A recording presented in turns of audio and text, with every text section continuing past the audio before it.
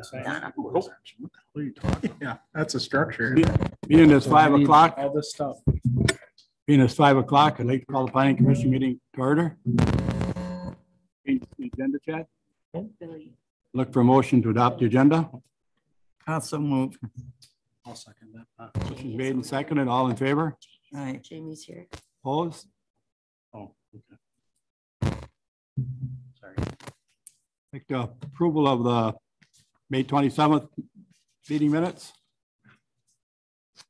I would look for approval of it. I'll Motion. I'll second it. Motion made and second to approve the May twenty-seventh meeting. All in favor? Aye. Opposed? Motion carried. Chad, you want to take that request for the murals? Yep, I'll just kind of lead into it. Um, we've had another request for a mural project. Uh, Susan Polson and Spencer Young, right? Um, is here with the Wolf River Art League. Uh, to kind of give you an update of their next, uh, concept. So, yeah, if you guys want to sit around at microphones so we catch your, uh, your voice, that would be awesome.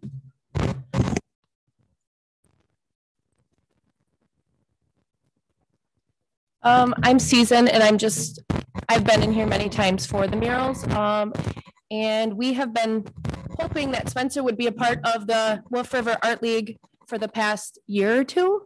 And he just came forward this year and decided that he would like to be a part of it. Um, the reason why we really wanted him um, to be a part of it is because of his love of art. Um, I've actually known him since he was a little boy. He he's not that little, but he's a gentle giant. Um, he's from Shiocton, so he's fairly local and he still lives in the area. You guys might know of his work uh, from the news. He has painted the Lambeau Field or Lambeau fence. The Packer fence is right across Lambeau Field. So he does that. Is that every year? Yep, annually so far. annually, and he does other projects for other communities um, throughout the Fox Valley or wherever he needs to be. I think he's finishing something up in the UP right now. Um, it would be a benefit to have Spencer part of our group, not only because of his talent, but his love of art. And he had come up with a idea that he would like to do a revolving art piece.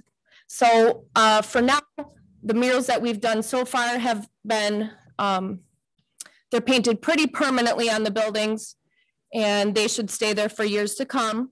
He wants a smaller, average size wall that he can change once a month or something like that. And he could start just this next month um, and maybe get three or four murals in this year yet, uh, weather depending. So I'll hand it over to Spencer and he can continue. Uh, hi, everyone. My name is Spencer, as Susan mentioned. Um, I actually do this full time as a living. Uh, kind of took a chance on myself uh, six years ago. Uh, it was it was a pretty pretty big leap for me. I used to work in the office corporate setting as a graphic designer for Oshkosh Defense, and it just wasn't my thing. And I decided, you know, I want to be an artist is what I always wanted to be when I was younger, and I was going to pursue that dream.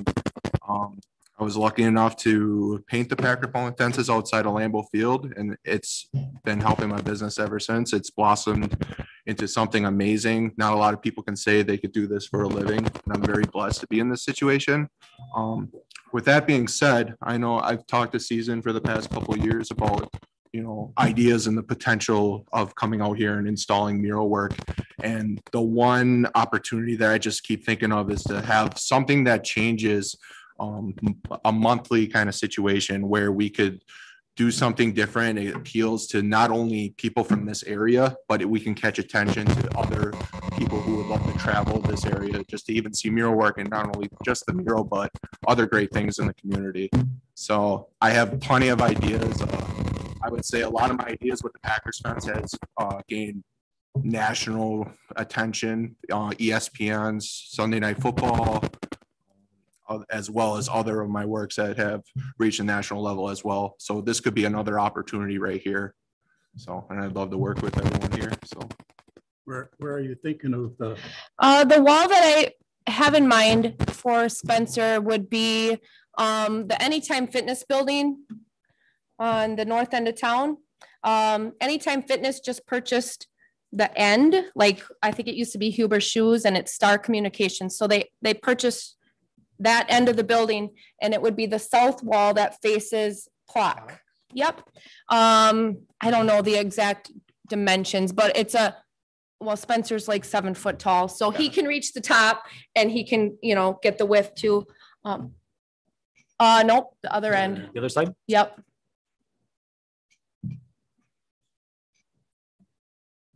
Due to the rules, Dave, would we have to approve? Get in there. every mural? Yeah, that trailer's blocking it, but that, that wall there. Commission does. Um, it's a nice block wall. It will be easy to transform for him. Um, I just, I think Spencer also being on the Art League, he's, uh, willing to take the Wolf River Art League in his work and also the city of New London. And it's just good for everybody. There's, there's, it's a win-win. It promotes my artwork as well as um I, I have a I would like to say I have a pretty popular presence on social media as well. So whenever I comment on my work, uh celebrities, I've worked with plenty of clientele that's fairly popular, I would say. Um, you're, you have examples of your work or like, what does your work Um, look like if you had to like paint a picture verbally, I guess? My website is www.foreveryoungdesigns.com. I have a lot of my work on there in a gallery as well as a shop page. Um, it ranges between anything and everything. I like painting uh, celebrities, athletes, uh, cartoon characters, uh, anime characters, uh, pretty much, like I said, anything. Wide everything. variety. Yeah.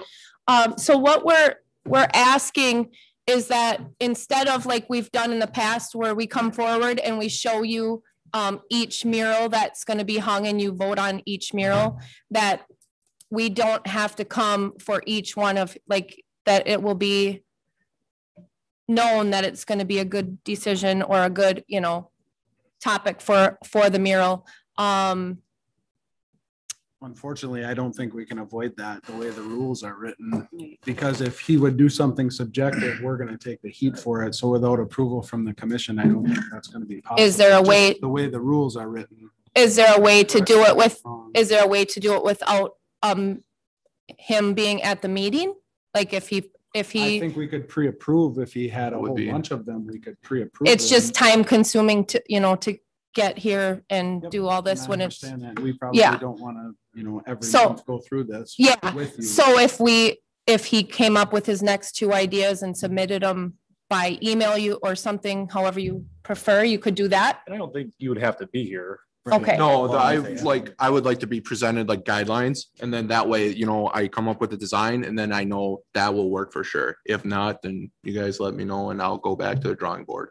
And we have everything on Zoom too. So if we had Okay. to have you, and if you're, you know, Wherever, two That'll hours work. away, we could bring him up on Zoom real easy if we had questions. Excellent. okay.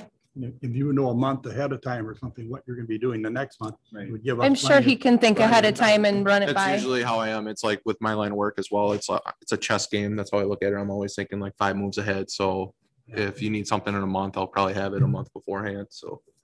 Have something, Dave? Yes, uh, I don't know, we, do we need a motion to, Well, this is the, the conceptual design that was brought forward. um, For the currently, first, for The first one. So, um, you know, th- th- this is kind of what, and I don't, kind of explain who this is, because I don't, I don't think everybody knows. who- Uh, he's actually, um, he's a comedian that specifically focused on the Midwest, Charlie Berens. Um, and he's from Wisconsin? Yes, uh, I believe Whitefish Bay. Um, I've done work for him in the past and this is nothing with me working with him. This is just me like, hey, I like his work. I'd like to paint him on the wall. And with that being said, my social media presence, if this is something he sees, he would share on his IG and as well as tag the Wolf River Art League. In the city. I think we need to be careful with these type of things. I think this moves past the scope of a mural. This could get into advertising. You know, you're basically promoting this comedian, so we may be in a legal, I, I don't know. I mean, like if you would paint Scooby-Doo, if there's a trademark on there, I don't know what type of a law and what the city is gonna be involved in. So I think we should look at this in a legal standpoint from a uh, I'd like advice from an attorney. before we approve something, because if we would go forward with this and somebody says, hey, I want Donald Trump on the side of my building, we're not gonna be able to tell him no, and I don't know what the repercussions are to that. So I don't know what the interpretation of a mural is to what advertising and, and where that line is. So I How- guess I would like definition from that, just for Okay. clarity. I, I'm not saying I'm opposed to it by any means. I'm just saying I'd like to know if the city is gonna. be I'm just, I was just gonna ask Spencer, maybe he knows a little bit of how other communities might handle this or I mean, my experience from the Green Bay Packers fence, this hasn't been an issue at all, because at the end of the day, it's been a community effort Yep. versus, I mean, I'm not making any money off of this, and I, Right. I want to make that very clear, like, for me, this is just promoting myself as an artist and not only like putting something cool out there, but you know, there's gonna be people driving by, oh, I'm gonna stop here, that looks sweet, let's take a picture by it, and that's the most rewarding thing for me at the end of the day. And not only that, I get to improve my art skills. Who, okay, and who would be um opposed or who would be legally opposed to this? You mean this guy? Cause I like if don't- he has his permission, I- I Is that a thing? That's what I'm saying, is I don't know. I mean, Yeah, so, I mean, Susan and I kind of emailed a little bit back and forth on this one, um, just kind of adds the questions. Um, obviously Charlie, and th- this would be promoted his business, so the question does rise. Um, is it a mural? Yes, but is it an advertisement too? You know, so, and Dave and I were kicking on back and forth trying to talk about this in the office. So number one, if there was a political party, Donald Trump, you know, or, or Joe Biden, someone wanted to paint that on a mural, is that a mural or is that a political ad? well, we also have a rule with the art league that we aren't painting anything other, other politically, except for um, you know, what we painted at the vet. That's the art league, but say, Yeah. say the Republican Party in town wants to come up and do a mural of a candidate. Well, if we allow this, is that going to open the door for that? Or I've seen, um, billboards with Karen Geffen, for example, with her image and the same. If, she- if she wants to do a mural in town, is that a mural or an advertisement billboard? So. And that's, I think what- I'm just not clear. So what the art league is doing is phenomenal, don't get me wrong, but this is starting to. We're going uncharted territory, so we gotta figure it out. I guess I got, I got a question. I guess I'm unfamiliar with, if that Anytime Fitness is a private thing, why do we have say on what goes on there? Yeah. How does that work? The city has a sign ordinance, so all signage has to be regulated by the sign ordinance. And back in the day, they determined that murals are, are a sign, quasi sign. So instead of trying to develop a bunch of regulations, because murals are kind of all over the place and what if, Yeah. Um, I think back in the day, they just said, okay, any type of mural, which is kind of like a sign, would just come up to the planning commission for review and approval. I thought that I found the clause in there that said, um, art was exempt from that. rule. It was line nine, I believe. What's that? Anything painted on the wall was not considered a sign. It was exempt. It was line nine, I think, and I ran that by you for some reason at one point already, but And then kind of going back to the advertising as well. um, of living, anything that I put on the wall could be considered advertising, just because this is my way of living. So I don't know if that's gonna make a difference at all in this situation, but I'm just looking at it from another perspective as well. I could paint. a- But the moment I like post it online on social media, like that's part of my job, that's like part of that. so he's normally a paid artist, um, but not being paid by us at all. He's still here, um, because he wants to be. Have you ever had anything with the Green Bay where you're taking on that fence? I mean, That, that basically a fact or something. Right, and that's, we've never had no issues in the past six years with them. We've actually raised money. And this is stuff where maybe in the future, this could be a possibility too. It's, uh, last year, we, with the pandemic and everything, we ended up raising over seven thousand dollars to get to the Greater Green Bay Community Fund. And that was just private donations that we made for the fans, and we painted the fans on the fence, you know, it's just. What art can do is truly something amazing, and not only that, it helps the community, and that's what I'm all about at the end of the day if this is something like, hey, someone can look at it, it's a cool piece, or we can make it into something where we could help the community. I'm all for whatever you guys think, so. And the Packers don't own that fence, right? No. It's a, it's private, owned, and this is, I would, I would say it's the same thing, it's a privately owned Yeah. as well, so. I don't, do you think, I, I kind of like, like Jason said, maybe we gotta ask somebody if. Well, I would just like to hear what the city attorney has to say. Yeah. You know, Is that something you can do fairly quickly, or like how, what's the time frame on that? I would be up to the attorney. To get um, Spencer going, do you have a second idea that, I mean, this is something, new territory for us, right? We have to look into that. Is there a second idea that you have in the back of your that they could approve tonight to get going for this? Not at the moment, I don't, but, um, I like the keeper moving. That's, uh, He's a really fun comedian. yes.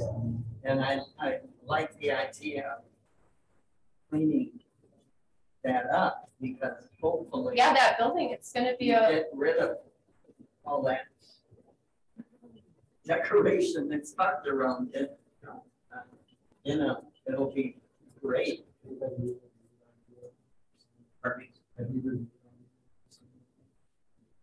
Some, but not, uh, do you have it? I do think it's a good idea to, uh, run by the attorney, and I'm working with him right now on another thing, so I don't think it'd be a big stretch to run that by him, just get his opinion on that might be. Do you have it Like I said, we're somewhere not handy? hold you We just don't want to alter you right there. Pandora's box. 'Cause I could show you. Something that- They could turn People this are on. gonna do what they're gonna do, so. Exactly. That's artists, or functional artists from the ones. They're usually, you know, like Donald Trump and then have nature. Right. We just don't want to get to the point where, okay, we've approved it, and now. The next guy can come in. Right. Have a carte blanche. We Call it art.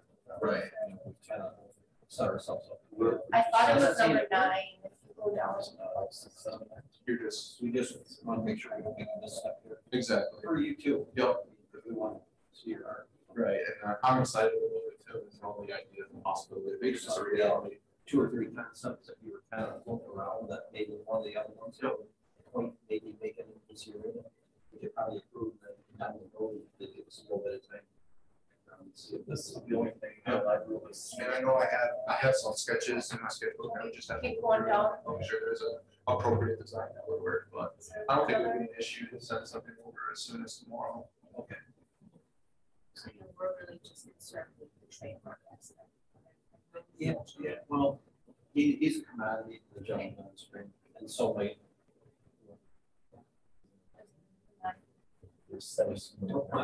And I just think at the end of the day, like, if I post this work, I know a lot of Packer players have said it, it's more of appreciation, like fan art. Yeah. You know, and that's not, that's kind of how I look at it, it's fan art, because like at the end of the day, you know, I'm not making any money, I'm not gonna be. It's just more that it's fun and it's out there, people get to enjoy it as much as I do. Like, looking at it, Sign. Everybody. yeah, Yep. It is, and it's, Nobody, nobody forgets what you're doing by any means. Yeah. We're not trying to- Murals or other artwork judged by planning commission. Signs shall be exempt from this section. Right, so it's not a sign. Yeah, so that means it doesn't have to meet those. criteria. Yeah, It Still has to be approved. There's a ton of different regulations on signs. Yeah, Okay. so- So it's not, it's exempt, it's not considered a sign for the, the code. I had mentioned the season with that design, the one, I think that may be, that could be removed as the keep removing part, because that is their logo. And that one I said, I'd be willing to take out of there, and I think you would avoid any issue right there. From my experience, that is just because it's, you know, I'm pretty sure it's a trademark logo. Right? But I could do my own interpretation of the keep removing. It's just, it's an artist's interpretation. So if you're taking something that's totally hundred percent brand standard, and it's the, it's the logo to a T, then there might be an issue. But if I make it my own art- art interpretation, then there's no issue with it. It's gotta be so much of a percentage. Exactly, and, uh, can't remember what it was, it changes every year, I, I'm also a graphic designer full time, and I think it was at like seventy percent or something. that it's Older in work. so.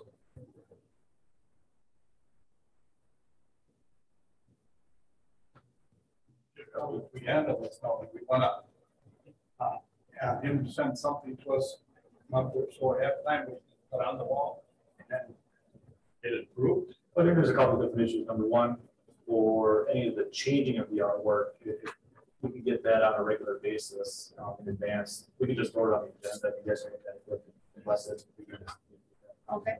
I think the other issue is, you know, uh, this. I think we need to know where our boundaries are with this, and what's acceptable and what's not, through a legal statement. because the attorney says, You know, this is what you need to stay away from. We can actually kind of identify that then at a legal standpoint and, and show that to you and say, well, this is, you know, in the future, this is kind of what we have to stay in the scope of it, and this is what we have to stay away from by the advisement of the attorney. Because that's kind of what I'm looking for. Because murals, I mean, when they probably created the ordinance, I mean, murals was just, you know, a very small item. I mean, you guys brought this, you know, it was huge, so.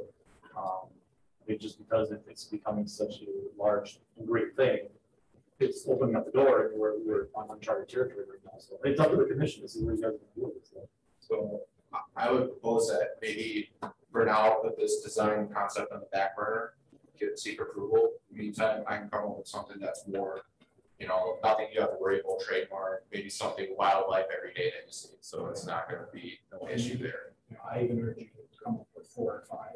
and then You would approve all five of them and then that would, be Is this, wouldn't to come back for five months. Right. is this something that he can work on to get started in July? Because he was hoping to get started in July. Well, we have to approve them. Yeah, we have to approve it. How, can you approve them outside of today? You'd have to have a special meeting then. That'd be public meeting. Is that something that can be done, or, I mean, is he not gonna be able to start until August?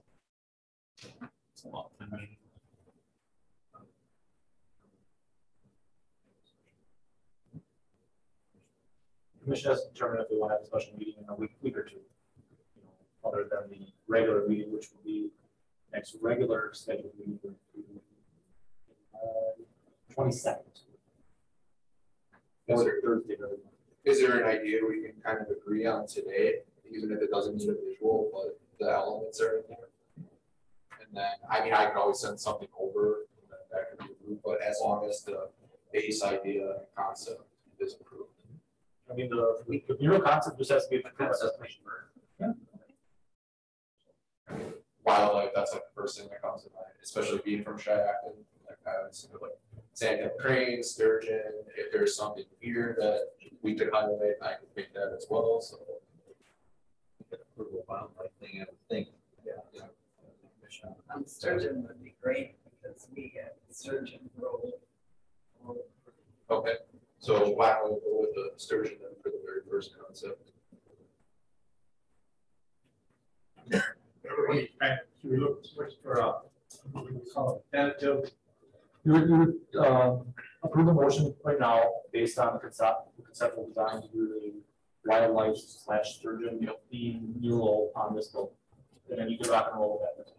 Excellent. at, at the, at the next month's meeting. we can look at More concepts. Some other design. I'll have like four or five concepts. Including this one. Yeah. Yes. Okay. I'll get you Chad's information and then. Excellent. And I hope you're not discouraged. I mean, this is just. new I'm not. for us.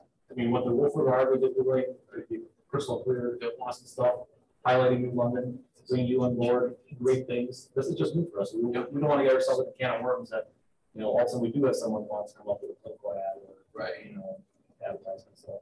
And that's what I, I will try and avoid as well too, like if you guys, if that's a concern, that I have no issue with it. Like if I had to paint wildlife on that wall for a whole year every month, that I'd have no issues with it whatsoever, so. Yeah, I just like painting, that's all, so. I think this is really good stuff, so, you know, if someone wants to make that motion tonight. Something. Can I, can I bring up a point? Yeah. Is uh, New London home of the American Water Spaniel or something like that? Correct. Yeah, I, I'm just throwing that out for an idea. Um, I mean, we we are always a, a community of, of fishing and sturgeon and stuff. Um, there's just a different idea of maybe highlighting that high hot excuse me highlighting um, that animal. That's all. I just my two cents. even um having something seasonal that fits with that month. So, I mean, with the sturgeon spawn, um, that specific month, you paid a sturgeon that month, uh, whitetail deer hunting season, paid a whitetail on the wall, you know, that it's, it's pretty much endless with the possibilities you could go that, that would fit that month, so. Our festival. Mhm. So We got, so we want to make a motion to, I would make that motion that Spencer be allowed to create art. wildlife, Do you want that specific building Yes, at whatever that Anytime- address is? Anytime Shan- Fitness. Shawano Street. anytime fitness. Yep. Eleven eleven, Shawano. Yeah, uh, home of Anytime Fitness. Uh, with plan commission to approve all artwork. Second that motion. Motion's made in second. All in favor? Aye. Opposed? Okay, Start painting. Excellent. Hey. Thank you, guys. I appreciate your time today. And for Dave and I will talk to legal and just talk about, you know, especially with this type of um scenario, is there a way that this could be defined that it's not a sign or it's or it's not going to set us up to be like our political ad, you know, thing. So we'll talk about that to see if this, you know, in a legal sense is not going to open up the door for us for any. Right. Do you think that we, maybe we should be looking at that part of our ordinance, the, and with, that includes murals, that we do something there? I mean, instead of, We could create more parameters Yeah. for the murals, so we don't have to approve them. Right, You know, we could have a, a section, No, I we mean, could I'm- have a mural section in our ordinance Yes. that the council could approve. okay. And then we wouldn't have to do this. Every We could have, you know, wildlife murals are approved in the city of New London. right. So as long as it meets those parameters, Whatever you your guys don't need parameters are. approval. You already Yeah, have. I mean, that in- way, we wouldn't have to be doing this every time. That would- Or, or it might just be an internal thing that they No. just get a, you know, uh, approval from the building inspector. I mean, that could be, you know, so it's a quicker process, Yes. just to Okay. kind of, to record where this stuff is happening, but, um, yeah. I mean, That would could be all great. You know, redefined. And if you guys have ideas on how you'd like to see that defined, Okay, let me know. okay, These are the parameters that work for us to help define, make the process easier. okay, thank you. Uh, when you break that up or whatever, you can, uh, message or call me if you need to. Yeah, if we can get a small group together. Thank you. Thank you, guys. That's one. Yeah. Say it on the agenda.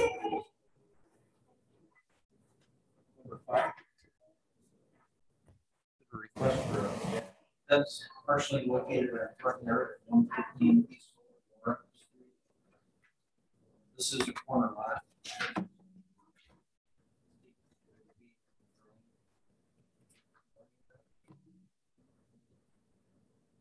So, uh, they, the owners came in and we spoke, they came up with two different options. Um, the only options we have to look at are the ones that run along the Warren Street side up past the edge of the house. And, uh, On the Laurel side. These are obviously chain link, so if you look where would be the dots are, that's the only part of the fence that the approved, I've already approved the solid fence going up to those two points. All three of these that we have tonight are uh, chain link fence. I think they're all three black chain link. Uh, They're looking to, uh, as you see, they have a very small backyard that they'd be able to keep us for their animals mostly. That's Obviously, they'd like to have option one to just give a larger area. Yeah, that's the role. Is there a potential sidewalk in this area at all?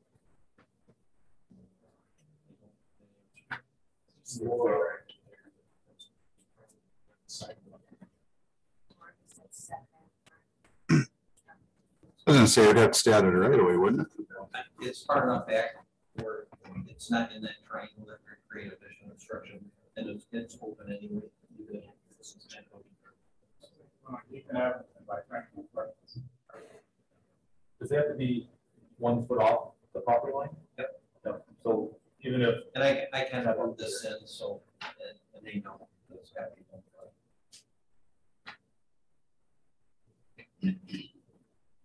I'll think we'll handle all three of these separately, so probably do it.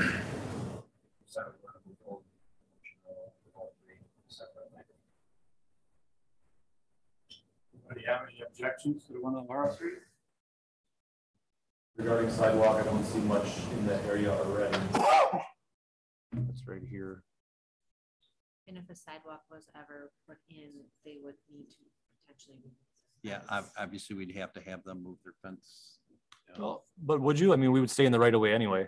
Yeah, if, it- if it's one, one foot inside their property line, that right away would be just fine. Yeah, it should be, should be. And we usually, you know, we usually put the sidewalk within a foot, so there's a lot of times it's, it's on one foot on our side of the property line, so the right of the line anyway, so. This a four foot or eight foot fence? I didn't see that. Four foot. Four foot. Just call for-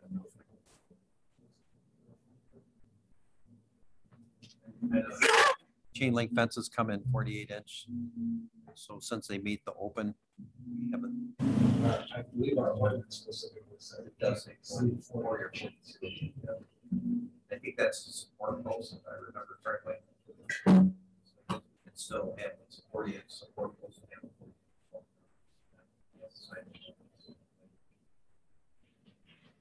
I think that's something we need to revisit, obviously, because.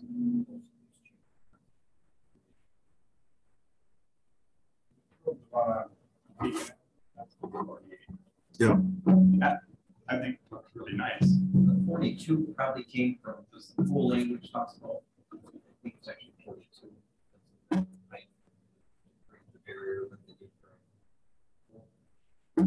I mean, let you know what this section of the ordinance. I think it said the support posts for this are forty. I think they still get the fence up. and only have 40 inch posts.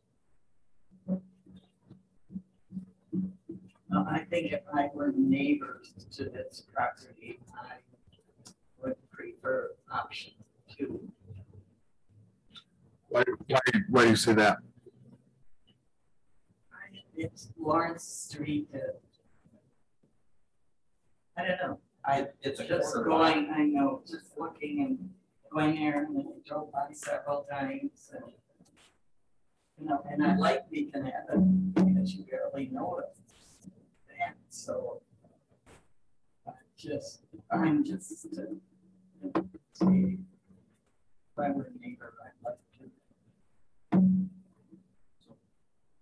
But I suggest we just, uh, if someone wants to make a motion on option one, obviously, that doesn't pass, then we, uh, option two. Doesn't pass on. So no options, or no issues with option one. Personally, I don't, because they don't have a neighbor on that, that side where that fence would be, so it wouldn't, you know, necessarily. No, it's the street. It's Yeah, across just the street. Side there, so. Most does set back a little bit, so. I would look for someone to make a motion to start out with option one. for One fifteen Laurel Street. Just have a question. How come we're, like, we have three of these fences as far as what part of our ordinance isn't in line?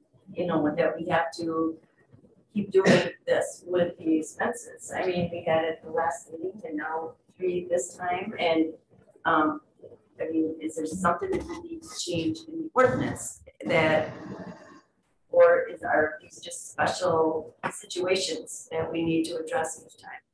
My intention is to revamp the entire zoning ordinance.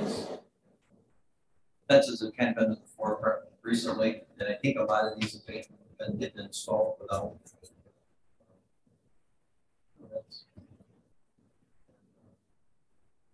And the only reason it's here is it is because it's in the front yard, correct? Right. Is this supposed to, I think for the same reason, it gets up some parameters that would allow them in the front yard without having to go to the planning. commission. does this pose a, Planning commission would be all- Any zoning. A risk to our, a risk to our firefighter? Is that, is that a thought? And I'm just looking to see why they may have restricted the, the areas of the, the fence is, there any, any ordinances on having gates at so many feet, or something like that for that? our ordinance, or- Open fences may be constructed in the front setback or corner side yard only with approval of the planning commission. Fences shall have support posts, support posts, not exceeding forty inches in height. and no more than two Just that's kind of something that I don't like. that We approve fences that are not in compliance with our ordinance.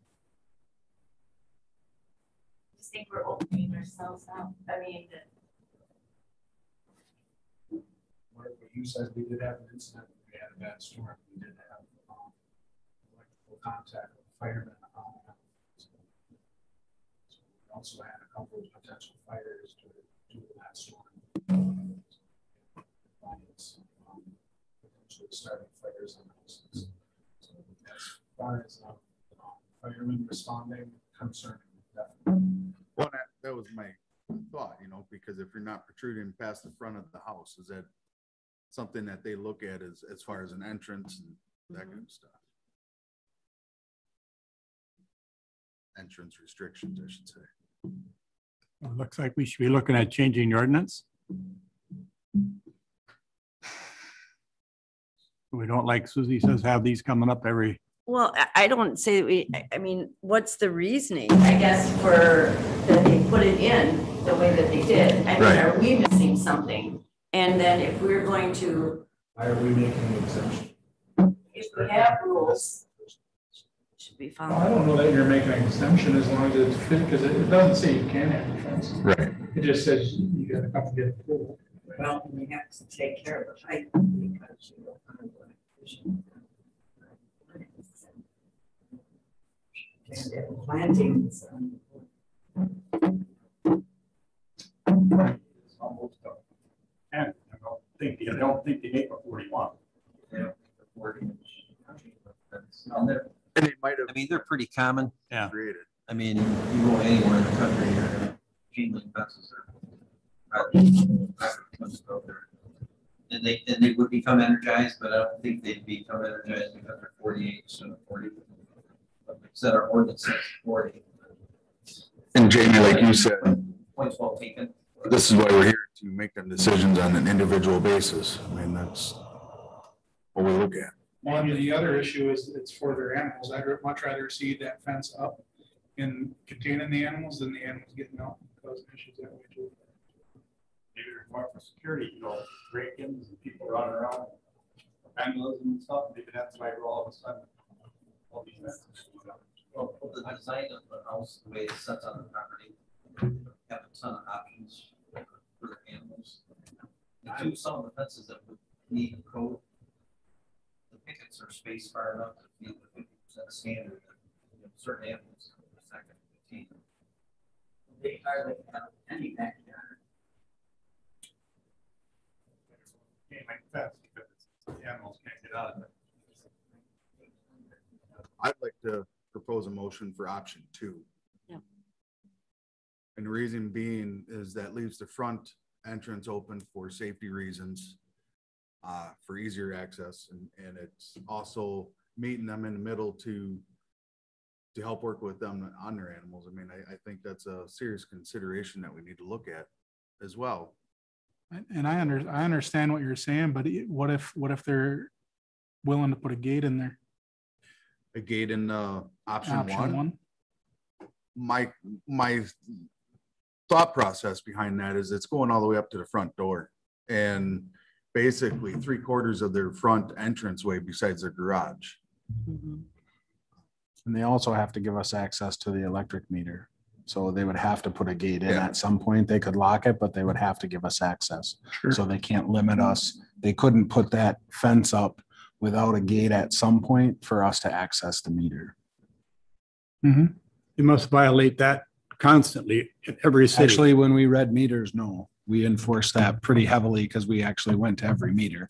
So Yeah. they would, they would try to prevent us to lock it, but we would always have to get access. They, there's, you know, we would work with the customer, say, hey, we're coming on this day, you're gonna have to open that up.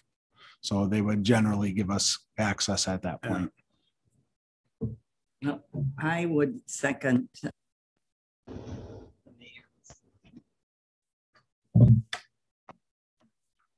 So you're, you- we're, we're looking at Option two. option two. That what we're, Yeah, that was option two. we got a motion on option two and a second on option two. All in favor? Aye. Opposed? Aye. So opposed was Jamie and then Tim, right? Yes. Got it. Thank you. So what is it? Okay, motion's passed then. Going to- Dave, then you're gonna talk to him about option two then? Yes. Okay, so we're gonna go to Cook Street then? Uh, the next one is three thirteen Cook Street.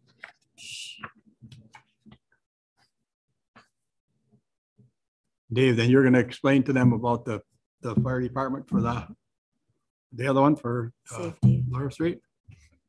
The fire department. Yeah, to our- to the I customer may have to about, meet with Mark and see what his thoughts are on that. I, I don't know as the ordinance talks about that. I don't know if I can use that as a, I think more of a, an explanation how we came to conclusion two compared to option one. yeah, that's what I'm thinking. Explain Oh, to the. explain to 'em that's explain to what the our thought customer process was, Why, yeah, why we yeah. went with option two versus, Yep. versus option one. yep, I can do that. The, this one here on Cook Street, um, our ordinance says even if they repair the fence, it has to have a permit. They're basically rebuilding it the way it, uh, was. Um, so the, uh, is there another picture on there? Yeah, right there. So the pink section that I highlighted there is the section that the planning commission has to look at. And that's gonna be, uh, just a picket fence to replace the one that's deteriorated on their property. So they already have it there. It's already there. It's just, it's kind of in rough shape, so they're gonna put all new boards on the picket. Look for a motion to approve the one. Anybody got any questions on Cook Street? Are they gonna put a fence all the way around that property? It's already Solid there. fence, yes. already there. This is But all it- existing. Uh, This is the picket. That's, I think that's. just- And did they get approval for that Yes. fence that's Yeah, the- along the driveway? Um,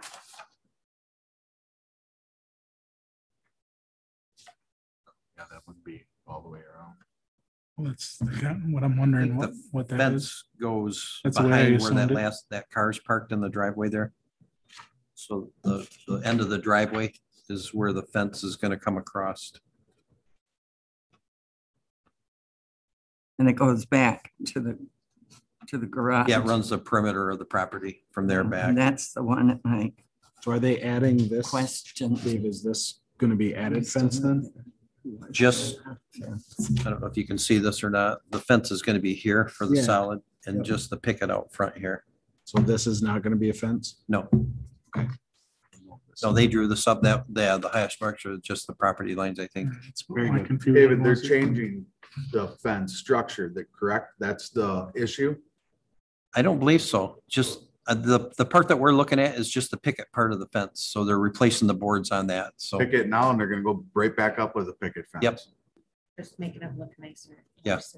I'll make You a have to have motion. approval for that? By our ordinance? because it's in the front yard, we Yeah, do. front yard. Yeah, because it talks about repairing or replacing or, yeah, any. I'll make a motion to approve that picket fence. I'll second it. Motion's been made and seconded to approve the, the repairing the fence on Cook Street. All in favor? Aye. I'm sorry, was that Jay and? Susie. Okay, Dave Southland. Uh, The next one is nineteen thirty-nine Southland, looks like Lane. So the owner uh, sent in this drawing. And, uh, The second picture there, I just kind of copied it over to the style that we've, we've kind of been using uh, to keep our files in. Same thing on this one, just the part there with the, uh, on the other picture where it says front yard is, uh, one that the planning commission can look at. The, the one, the one issue with this is the neighbor. If you can see that dark area there, he's got a solid fence that goes all the way out to his property line. So, uh, this guy is gonna install one in the front yard, but it's gonna be a chain link as well. What, do you have to be three feet away from that guy? Pardon me? Do you have to be three feet away from the other fence? Or a foot? Well, ideally it'd be two, if that guy's a foot off the line, which I don't know if he is or not. Uh, hit, this fence here that he's proposing has to be a foot off Foot off. property line, yeah. Okay. Be Fun cutting the grass in between. And I don't know what two. use he had for this. He didn't really say if it was for kids or animals or just to give himself some, you know, keep his yard tended himself. I'll bet this wasn't approved either. And That's Got any- also a a chain link fence, I assume. Yes. Anybody got any questions on that one hmm. anymore? Look for a motion to approve the one on nineteen thirty-nine Southland Lane.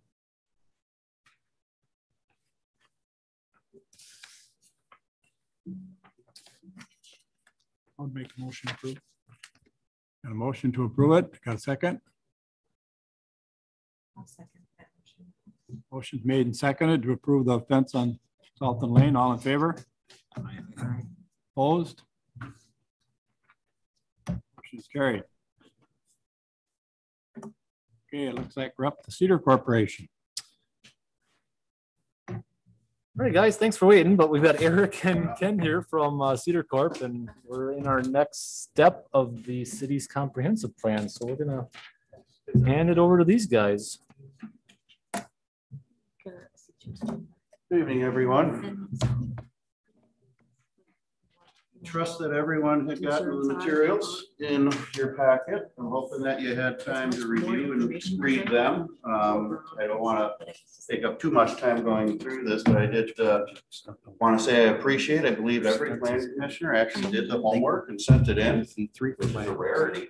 Uh, So you guys should get some gold stars. So they're Um, and also, uh, very pleased with the input, uh, uh, on that homework. Uh, I think there were some nice thoughts put into that, some good comments, and, uh, it was very helpful, uh, in terms of trying to take a look at the land use chapter and, make some modifications to it. So what we're gonna look at tonight is draft, obviously it's sort of a first cut, and we're definitely open to suggestions, thoughts, or whether we're hitting the mark on things. Um, I did, wasn't intending on going through the homework uh, to a great degree here unless someone else had some comments or things they wanted to bring up. I know gave you an opportunity to see some commentary from the other plant commissioners, but uh, I thought most of it was self-explanatory. There's a couple of items in there that I did highlight in the document that we can discuss at length a little more, but uh, any comments, questions, surprises with regards to the, the homework assignments?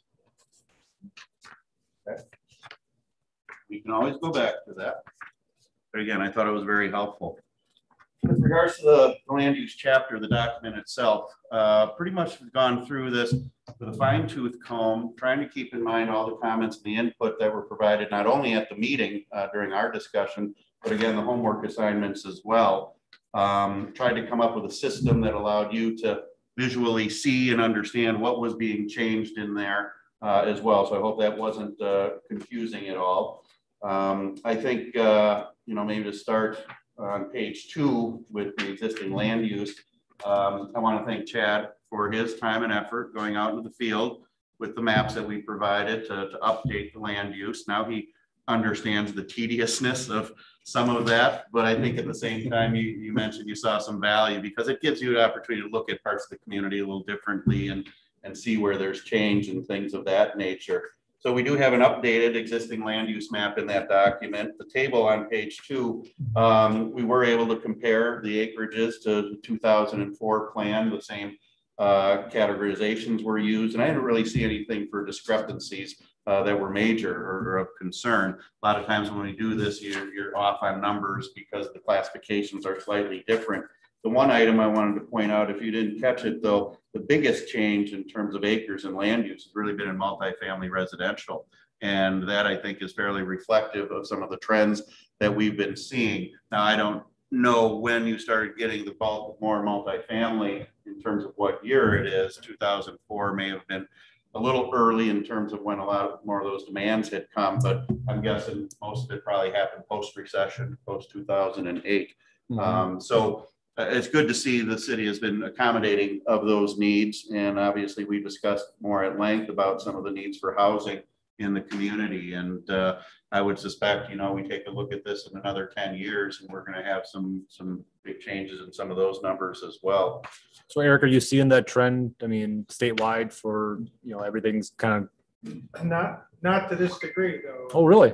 Yeah, I, I, you know, we see increases, but this is, as Eric pointed out, fairly, fairly impressive. Yeah. When you look at the totals, obviously the acreage of the city has grown simply by annexations. Probably not worth digging into detail and comparing every annexation, the acreage to make sure it matches up. We'll trust it. Um, but, uh, uh, you've got a fair amount of, uh, undeveloped vacant land within the community, uh, in terms of hosting new development. So unless you get specific requests, uh, for annexation, which is typically the way it's done, I, I don't think you're in need of, of going out to try and find a lot more acreage just to accommodate growth and development in the short term here. We uh, move on to page four. Uh, If you'd like, um, assuming that you've read all of this, uh, I'm just gonna go page by page. I may highlight an item or two, but I, I want you guys to speak up if you saw something or made a note or see something that's not right in here. Uh, bottom part of page two there, we did basically update a lot of the language in terms of the numbers and the values associated with existing land use in the tables, the bottom there. Uh, really attempted to try and, and update the story from the last plan of, of where you've been and, and where you've gone to in terms of where new development has occurred. I'm presuming uh, that hopefully captures things fairly well. Page five, projected supply and demands of land uses. Um, we did have to kind of go back and, and it wasn't our intent to update the demographic information of the plan, but we did have to take a look at a few bits and pieces. So we threw that on a couple of pages in the back and we'll format that as an appendix uh, because we need those numbers in terms of calculations. Uh, but uh, as this shows here, um, you know, there's about 3.56 housing units per acre on the residential lands that you have, which is probably a little higher in terms of density uh, than most new development that has occurred in many communities. A lot of that has been about a third acre lots or three units per acre. We're bringing in a lot of existing development in older neighborhoods, which is denser, which probably accounts for that uh, increase of three units per acre there. Um, and then in terms of demands and projections, if everything stayed the same and was consistent over time, which we know never happens, um, you know, you're looking at about a need for about 10, eight to 10 acres per year to accommodate development. Um, and that again, is still a bit dependent on the market itself. So we have those projections illustrated on the next page in table 8.2. Um, I think the thing I wanted to point out with this table again uh, is, is basically understand that when you have increases in the developed land uses, you're going to essentially have corresponding decreases in the bottom part of the table with vacant and undeveloped acreage. Uh, but really, from our standpoint, no surprises here. Um, you know, you are going to have a peak in terms of growth, the way the projections are stated. And whether that happens or not, whether you do start to have the trend of decreasing population, which we have in many rural communities, are a little bit larger. Um, so uh, I think you should temper, you know, that thought that at some point we're going to decline. A lot of different things can happen with the market, um, other changes out there with demographics and the way you market the community as well. It could be, you know, changes could happen based on an industry coming into town or an industry closing in town. So again, we don't worry too much about this, but we wanted to kind of give a ballpark about what you can expect. I think it's the point is it should be manageable. You shouldn't have tons and tons of development coming where you're overwhelmed and getting concerned about the pace of development like some communities uh, can get. The next page, seven, um, some of these things need to be filled in later because we haven't uh, made any decisions on what that preferred or that future land use map looks like. Once we do, we can calculate acreages and we can go back and do some comparisons here. So that stuff is to be determined. Page eight, um, one suggestion I'm making, and, and we can change this back if you like, but uh, I notice you use the term preferred land use. Um, many communities and, and I guess us as practitioners just naturally say future land use, future land use. So we made the changes there. If you want it to be preferred land use, we can do that, but I did want to point that out. Um, not much else on that page to really point out in terms of highlights. And then page nine, again, we'll be taking a look at that future land use map and we'll be uh, updating some of the info based on that. Just as a reminder, Chad, I believe we had asked, um, we need to try and obtain the digital data, the GIS data of the preferred land use map that's in the plan currently. And I'm not sure if you have any contacts at both who did that or can dig around to see if that's information you have on hand. So they didn't send that in the last packet that they sent us then. We didn't, you know, we didn't get anything. Um, just know if that isn't available for some reason, then we need to kind of recraft the entire map, which adds a lot of additional work. We can talk about that later. So let us know if you're having problems or issues with that and we'll do what we can to help. Um, page ten. And a few tables that will be added once we have the future land use figured out uh, there. But I think the meat of a lot of our discussion happens after this and we get into land use classifications on page eleven.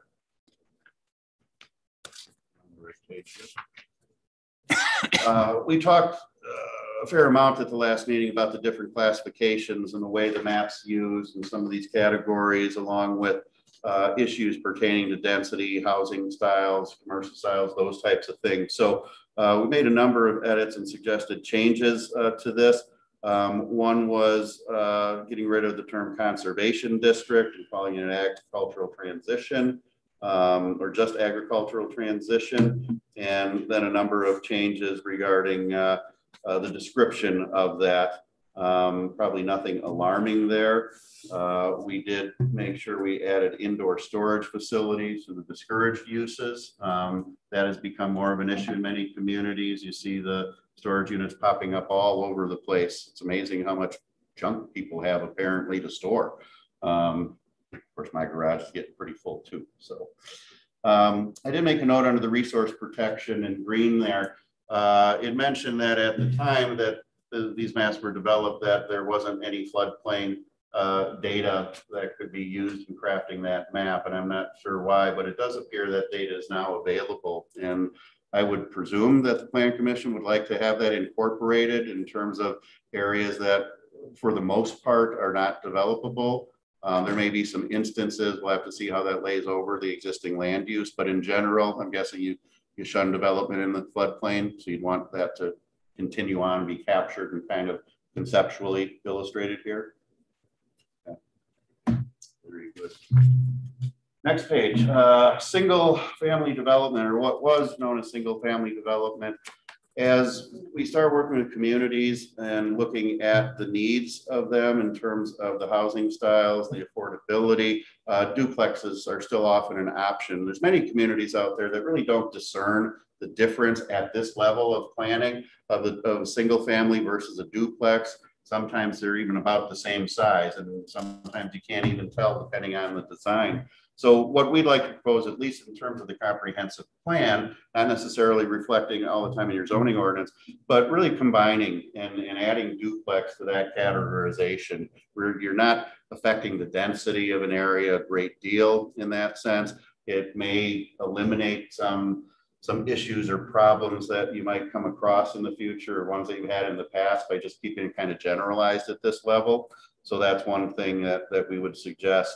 We also talked a little bit about accessory dwelling units or ADUs as a possible option for affordable housing. The ability for some of the existing residences, the single family ones, to have uh, an accessory dwelling unit either attached, could be in the basement, could be on an upper floor or detached. It could be a garage conversion. It could be a small uh, cottage, basically, that's built in the back of a uh, uh, existing uh, lot. Um, there's a lot of details that need to be considered in terms of allowing and regulating them, but many communities are now incorporating this into their zoning ordinance. So uh, we figured at least to get the conversation going, we should probably include that, um, you know, in the comp plan and acknowledge that those are units that, that could be considered ultimately. But of course, you're going to end up deferring to zoning regulations and other restrictions and details that you don't need to get into at this level. So I wanted to, and we put an illustration there, but I wanted to make sure, uh, you know, we, we've got some feedback on that. Is the way this laid out and structured and stated, is this something you're comfortable with? Um, do you have some hesitation in any way? Does this help clarify things? When you put this into the single family and duplex, you know, categorization, I mean, you're not really defining areas on the future land use map specifically for something like this. It's just a, lot, it would be allowed in any R1, R2, single family Those are really decisions that, details that need to be decided with respect to the zoning ordinances and and what's allowed and what's regulated. You know, what this is saying is conceptually that, yes, we think that's a good idea. And in most circumstances, it could probably work. But again, the devil's in the details and, and need to flesh that out within the zoning ordinance. Yeah, I mean, the plan is to give you, your zoning ordinance is going to be designed so that if you're going to do a rezone, it has to be consistent with your plan. So the, the thought here is try to, in your plan, give a little bit more flexibility in those definitions. Okay, now you get to the code. If you're looking at situations of the single family du- duplex designation and your future land use map, but you're still a little nervous about the duplex situation, you want to put that maybe under a conditional use, you can certainly do that. Okay, that- but that gets defined more in the code. But what Eric's talking about in trying to um, create a little bigger net for that classification of the future land use map would include single family, duplex, and ADUs, okay? How comfortable you are with them, you can get into the details in your code. If you want to put those as a conditional use and have a little bit more discussion about that. But, you know, the ADUs are being driven primarily by the fact that, uh, you know, a lot of people are aging, the cost of, of, uh, housing for elderly is going up. So a lot of people are saying, well, why, you know, if you get, give me some liberties that to live independently, but yet within some security of a family unit, that would be one reason that's driving it, so that people can live longer in a single family type structure, which I think most of us, if we were healthy and aging, would want to do, right? That's probably what we prefer to do. So this kind of opens the door for that. The other trend that we've been seeing is, you know, it's been tougher to get the younger folks out of the house because, you know, it's just costly to, get- for them to live out there, especially in the housing side. So this creates a little bit of a bridge for them to be able to do that within a single family structure. So those are the two primary drivers and two trends that I don't see going away anytime soon. So. Um, I think we've already had a couple of those where we, you know, the one north of, or east of town where a family built for the mother whose home burned down and they wanted to just add building for her. So it's happening. Those are here last year. Yeah, yeah. Or Um, another question, on the duplex, um, is there any di- differentiation that we, we need to kind of talk about here, uh, like a duplex condo situation compared to the traditional duplex? condo is really a form of ownership, not necessarily a land use distinction. And so there are, there are intricacies that need to be dealt with regarding that. But from this perspective, this type of plan, the ownership really is immaterial or the model that's used for ownership. Not that that shouldn't be considered or come into play when you're looking at those situations, you know, compared to the regulations, but it's a good question. What about um covenants uh for certain developments? I know I built a duplex and I had to uh get signatures from the neighbors, you know, as far as to allow me to build the duplex in that development. Those were covenants that were part of the subdivision that Right. applied to that lot. Um, Does that that need really- to be addressed in here or not? No, not necessarily. I, I think, you know, covenants are, are nothing new uh, nowadays. It'll be interesting to see if there's changes to those because covenants often can uh, obviously limit activities or add expense sometimes, depending on what the covenants address. That's really a matter between uh, the developer and the folks buying the properties or homeowners association, and things can get sticky, uh, obviously.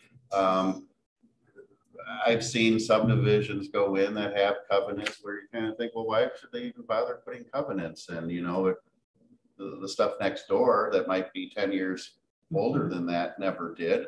What are they afraid of? But the development community seems to think that the covenants protect them, allow them to get higher value for their property or, or give some kind of assurance to the people buying the lots. And while it may, how many problems do you have in places that don't have covenants? You know, A lot of the covenants address a lot of visual things too, like, uh, you know, RVs parked in driveways.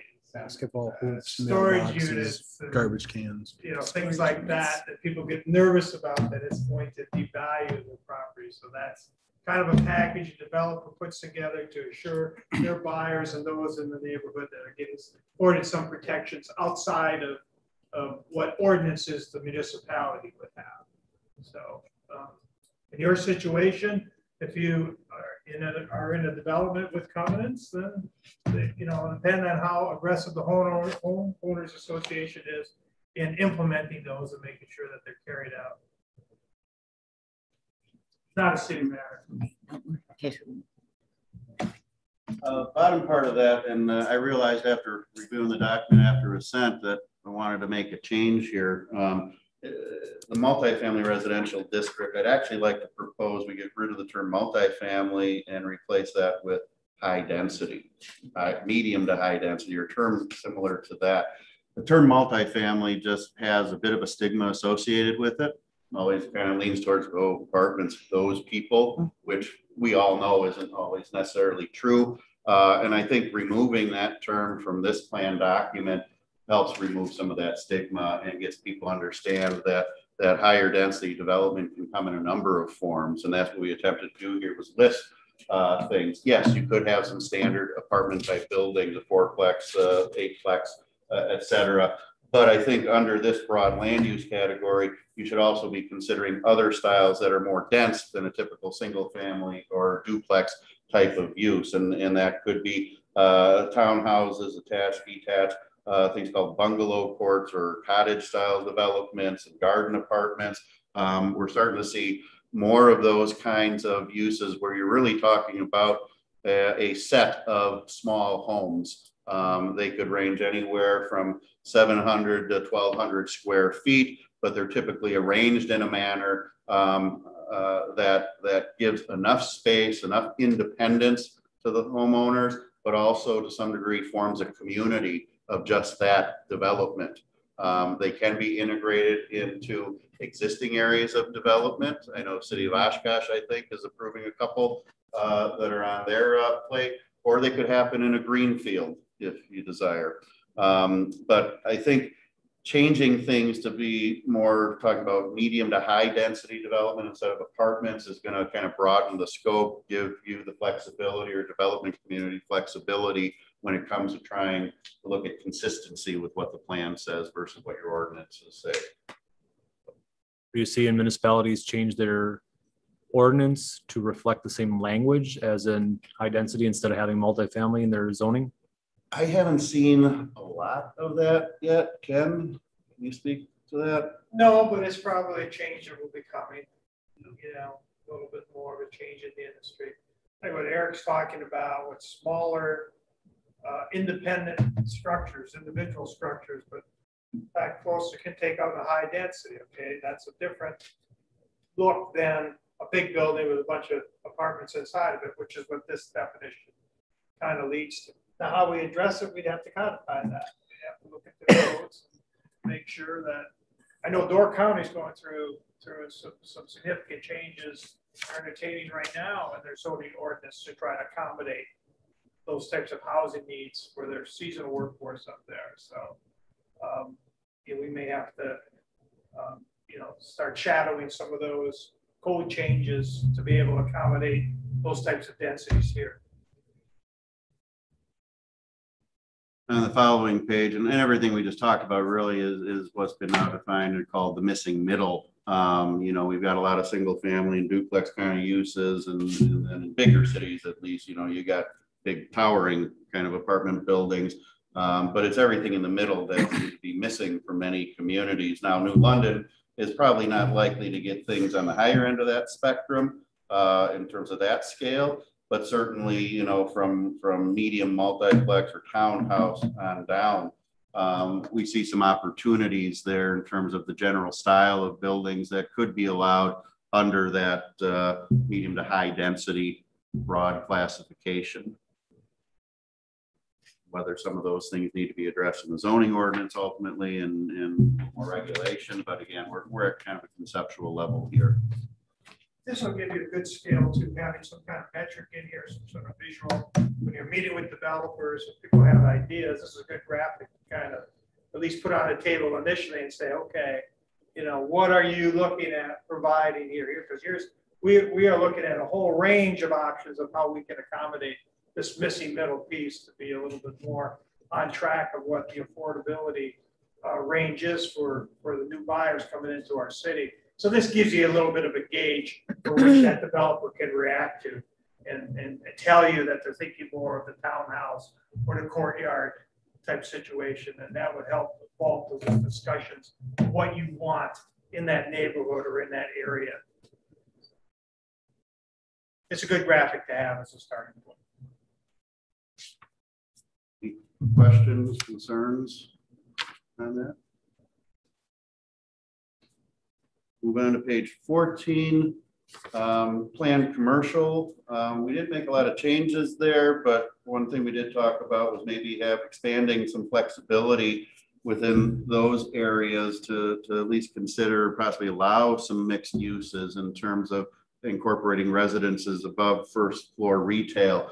Um, many times those things are going to happen more in a downtown environment like this, and we have that addressed or already has in your community downtown commercial. But in the planned commercial district, we are starting to see places like you have as you go north out of town where it's been traditional kind of highway regional commercial um, that, that those places don't last forever and maybe in need of redevelopment over time. And this being worded this way can give you the opportunity to start asking that question when new uses come in or transitions take place of, do we want to change the character of that area? Are we seeing demands? Do we have an opportunity to add some residential units to some of those areas? Um, the good thing is many times they're already close to a variety of, of retail and other services. You know, they're walkable uh, if you start adding some residential uses and if people don't mind, you know, some of that. But, you know, the market would dictate that. I don't think a lot of those changes would happen or be proposed uh, very quickly, but over time, as some of those businesses start aging out or the markets change, this could give you the ability to at least consider that. You'd have to, again, look at the details from a zoning regulation perspective, um, but we thought we might want to throw that in that district just to give you a little more flexibility. Something you'll be comfortable with, conceptually. Uh, no other major changes there. Page 15. Um, we did specifically make sure we, we put the uh, religious worship establishments in as discouraged uses. We had some conversations about that. Um, allow indoor storage, but not outdoor storage. In uh, we're talking about the planned industrial areas. So only needed a few minor tweaks, I think, to that section to kind of meet the, the expectations, the conversation that we had last time. Page sixteen, uh, quite a number of changes here.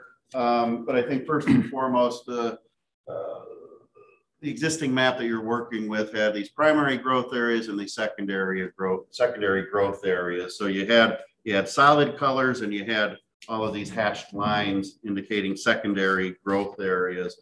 Um, I don't, I don't think we need to complicate it that much. I think it's sort of assumed that if it's a solid color, um, that, that it's something that you do have planned as a primary growth area.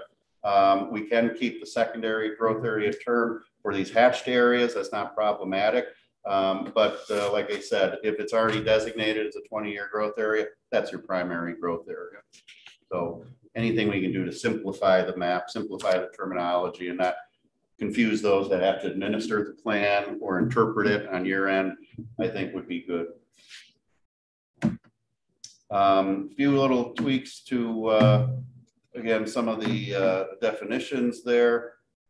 Um, it allows us to eliminate uh, the industrial expansion area and some of the other terminology uh, simply by by simplifying it in that manner. It really shouldn't have an impact on how you normally use the plan or do business. That makes sense. Questions or concerns about that? Okay. Page 17.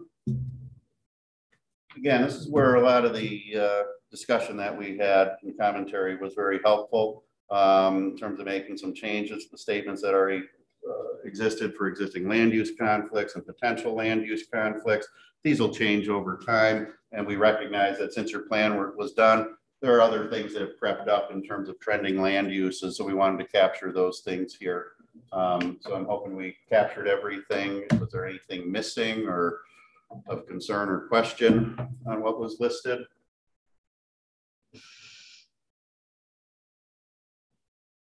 What do you mean by intensive agricultural practices? Say mega farms. Might be one. Um, that certainly could be of concern. Um, you know, traditional agriculture, growing corn or hay or wheat or anything like that shouldn't be an issue.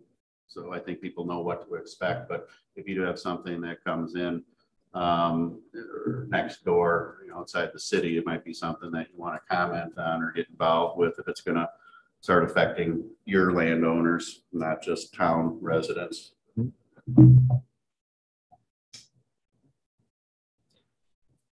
Uh, we're on the next page, page 18. Again, we took a look at the land use goals and objectives. Um, there was a comment made under goal one that I just kind of wanted to explore a little bit. Someone had mentioned that, that we need to decide on your future needs before setting goals. I really wouldn't argue with that. We're kind of working with an existing plan and existing statements. Um, we haven't gone through a full comprehensive plan update process to really get into the, the weeds on what all of the needs are out there. We did talk a little bit at length about housing primarily, a bit about commercial and industrial. Um, so I just want to make sure that that comment doesn't need more discussion by the plan commission. I, I don't know who wrote it down even, but uh, if that person wants to volunteer, explain that more, or if, if there's some issues with how, how this is pulled together without talking more about needs. Try and find a way to deal with that.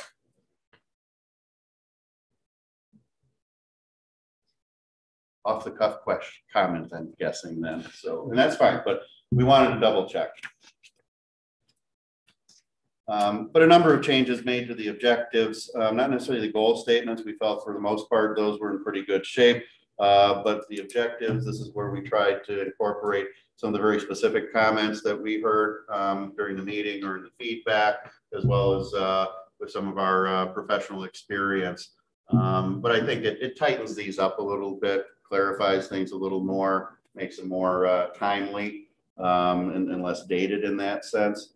Um, but certainly interested to hear any comments or thoughts, concerns, objections to those modifications. It's a lot to digest, I know, but.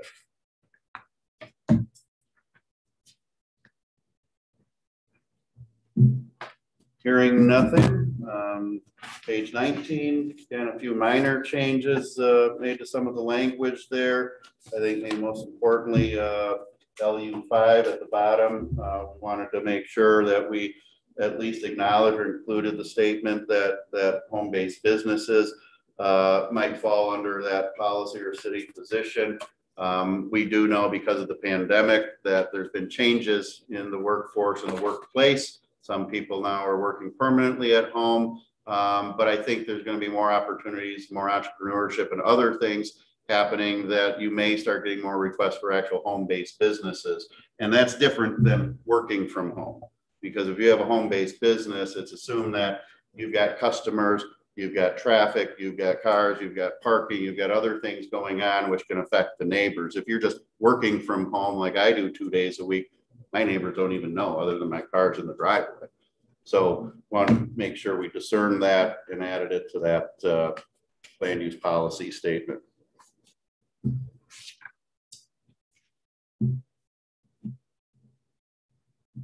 Questions on that? Page twenty. Actually, go back to, um, I wrote down beforehand the LU three. Um, city shall require the area development plans. I don't think that's something that we've, i- is that a specific plan that developers should be giving us? A lot of times it has to do with the scale of what's being proposed. Um, in many communities, development happens at small scales. It's a ten acre piece of land, it's a twenty acre piece of land, and maybe in some communities up to forty, which typically isn't too much of a concern. But sometimes, uh, someone will acquire, assemble multiple pieces of land, you know, hey, I, I got hundred and twenty acres here. And eventually, you know, through conversation, you find out that they want to develop the entire thing over time, whether that happens in five years or fifty years, who knows? But when you run into those situations, you'd rather not deal with things piecemeal, twenty acres at a time. We know this guy wants to develop the whole hundred and twenty, so you're basically either requiring or requesting that you have a, at least a sketch plan for the entirety of the property. And maybe even some of the properties adjacent to it, even though they don't own it, you can still kind of plan and sketch things out. But you're interested in making sure you've got good street connections for the most part. Getting an understanding of lot sizes and land uses. You know, we're gonna do single family over here, but we intend on doing multifamily over there. If they're just submitting a twenty acre piece and it's all single family, you don't know what's gonna be next door. But if they're in control of it, then you really want to do that at that scale. Um, you as a community could do some area development plans, even though you don't own any of the property. Um, you know, I think maybe south of town is is uh, a good example where you've got some extensive lands marked as secondary uh, growth area south of Becker Avenue and west of County D. Uh, if you as the community feel that that's an area that's gonna you know, happen and development's gonna happen or be kind of a hot spot, you may want to go in there and say, we want to take a look at that whole area. Yeah, we colored it yellow for residential, but we want to add another level of detail to that. You want to go in there and start kind of playing around, sketching out road patterns and maybe dividing land up that, you know, this part over here would make a nice park. Um, over here, better for high density development, low density, some commercial, and really start playing around with those ideas. And you could formalize that plan, adopting it, making it part of the comprehensive plan. It's still a guide at that point, um, but it would give those landowners or future landowners, because land can change ownership, a little better feel for what the city's looking for or, or would like to have when something is formally submitted. Um, Ken and I have been working in the town of Clayton, west of the Fox Cities, um, at the interchange uh, Highway 10 and 76. Um, the entire area to the north and the south three thousand acres, I think. We basically prepared an area development plan, multiple, multiple landowners, um, but getting the big picture look of that's the target development area for that community. Let's flesh it out a little more than having two or three broad categories of residential, commercial. So there's more detail. We worked out road patterns. We figured out with the help of others uh, where regional stormwater ponds were going to go uh, basically the, the framework for development. Still leaves a lot of flexibility for the individual landowner or developer, but it gives them a little bit more of a box that they're in and they understand the expectations more. what the community is looking for. And some of the thoroughfares, you know, some, some of the future roads are kind of no brainers, you know, you know that that's gonna have to be a collector street going, you know, through this particular area. So the next step would be you could put that on your official map and make sure that, you know, there's no development that could occur then on that regional detention stormwater, which there's a lot of cost-effective reasons to look at it that way. So looking at a bigger area, working with the engineer to be able to say, okay, this area we're going to reserve for stormwater, a regional stormwater pond instead of making all these individual property owners do their own thing on site, uh, helps a lot. And I guess what, what Eric's saying, it's not a lot of, you know, it's just human nature that when you propose something, you've got twenty acres, you want to develop it, then you put all your energy just on your twenty acres, okay? And you're not really looking too much around you. And what people do certainly impacts their neighbors. So area development planning just kind of make sure that if there's a, an action, there's equal and positive reaction as to what that could bring in terms of more traffic, how pedestrians are going to move through the area, how traffic is going to move through the area, how stormwater is going to be managed, whether or not parks need to be reserved, and a whole host of other things that that development could impact or open up an area for development.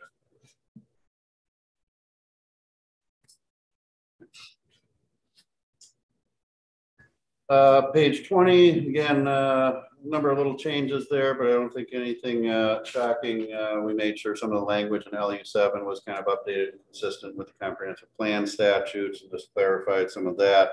Um, LU eleven kind of called out, at least at this level, home-based businesses might be something you want to do as a conditional use in a zoning district, uh, deal with some of the impacts of those kinds of things. So uh, again, I think just clarification, it didn't really change a lot of the intent of the statements there. Eric, Next page, oh, go On. LU ten, uh, Wisconsin Act sixty-seven, I'm not familiar with that one. What's, just in a nutshell? I'm trying to remember what. it is. Wisconsin Act Sixty-seven, that's, What's that one? oh, uh, That's a the conditional changes to the conditional uh, use. Yeah. That, that says that there's specific requirements uh, in terms of you must, before you issue conditional use permit, you must base your decision on substantial evidence. Those things are measurable, okay? So that the applicant as well as the city knows what they're being held to in the review of that conditional use, okay? There's some other procedures that are outlined, but that's pretty much the crux of it, okay? And the law was formed and passed because sometimes conditions were placed on developments that were just arbitrary. There was no way to really uh, determine if they were going to be met or not met, you know? Uh, and they had to be based on something substantial, something documented. And it really, what it did was elevated the conditional use permit to the point where it's almost agreement between the applicant and the municipality. These are the conditions by which the planning commission has approved your conditional use. These are the metrics on how you're gonna be measured. Uh, and then both parties, I think it was a great law as I get through the administration parts of things. It was a great law because it really clarified what the expectations were on both ends. And it brings out that conversation. So uh, you don't want to be arbitrary in your issuance of conditional uses. Now there's a law that says, well, you really need to be very specific on the evidence that you're measuring. If you had a conditional use for, for some kind of use, commercial, but it's next to residential, and you kind of said, well, you know, we can see that, but we want a buffer between that and the residential, you know, if you had a, a tree buffer there, would be good. And if you approve that as conditional use, how do you measure that? A tree buffer? Well, you might want to say, we expect to see at least twelve trees along there, apply some numbers or some specifics to it so that you can enforce or go back uh, if necessary. There's no confusion on what was going to be required. Hours of operation, very specific, whatever those may be. Lighting, very specific, can't have any glare, can't uh, splash, be any light splash outside the property. If it, if it can be, you'd have a, a metric as to what that would be acceptable as. Materials for the building, pitches of roofs, uh, those types of things, specific as to what those would be. That, real- that law came, if you want to know the history, the law came out of the frac mine sanding, uh, the frac sand mining uh, issues that developed in the western part of the state. where towns and counties were slapping these arbitrary conditions on these mining operations. And they finally got to the point where the mining, uh, the mining folks went to the legislator and said, you know, you've got to protect.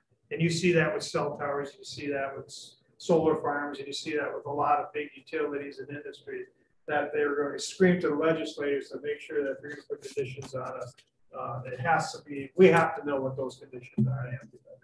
And it's just kind of parlayed now into the regular conditional use process. It's always been a good standard practice, but some places it was just never done or it helps.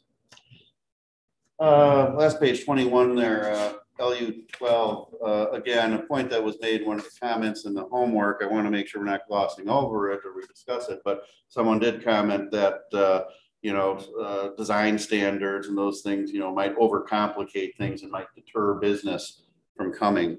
Uh, again, I don't know who, uh, wrote that. Um, and, and I'd say, you know, there, there's some, you know, merit to that a little bit, that it, it may deter some businesses, but I think for the most part, businesses, developers understand that there may be some of these kinds of conditions and these needs and these design standards. It's there to protect the community, the neighbors, uh, and making sure that you get what you want and looking how you want it. Um, you don't necessarily want McDonald's across the street in your downtown environment unless it looks like something that should belong there. McDonald's actually has done that in many communities, you know, old communities in, in the Northeast, you know, that have buildings from the 1700s. They've managed to fit design standards and still operate a McDonald's in there. So design standards are fairly typical in many communities. If you don't have some, it's something that I think you might want to take a look at, particularly for some specific areas, whether it's the downtown, whether it's some of the commercial corridors. Um, design standards can apply to industrial uh, areas as well, and we've seen that. Um, typically, they're not going to go so far as to deal with a single family residential or a lot of residential uses, um, but uh, certainly commercial, uh, it, it's almost an expectation, I would say, of the development community. So, yes, it might add some costs too, but in fact, I did a project in the village of Kimberly once. Um, Walgreens wanted to come into the community there. They've got a little triangular piece of land and uh, the community didn't really want it and thought one way perhaps to discourage them is to develop design standards and that they're going to have to go through all these extra hoops. Well, community did that with my help and they adopted them and Walgreens took a look at it and said, yeah, okay, we'll spend the extra money. We still want to be there. Well, they found other reasons to say no to it and it ended up going across the river in Little Chute. But you know, some businesses expect it and they'll, they'll pay what it takes to, to meet those standards. So. Well, sounds like nothing necessarily needs to change on that, but again, just wanted to point that out. Um, a few other minor changes on there, but I think that's, that's the gist of it. You know, uh, going through this, trying to make those tweaks, I, I think was certainly more helpful having the conversation that we did, the input that we had from the homework there. And, and probably the next version that you see here will end up having some of those red text areas, the tables filled in once we get through the land use mapping part. And we'll clean it up so you can kind of see what it looks like with all, without all those editing marks. Um, and still an opportunity to have some discussion or make some changes. Um, but keep that in front of you. If there's some things that, that weren't addressed in here in particular, if you think something's missing, um, that'll be the most important to make sure that we have those things incorporated. You know, we can work that stuff all day, but we must want to want to wrap things up as well.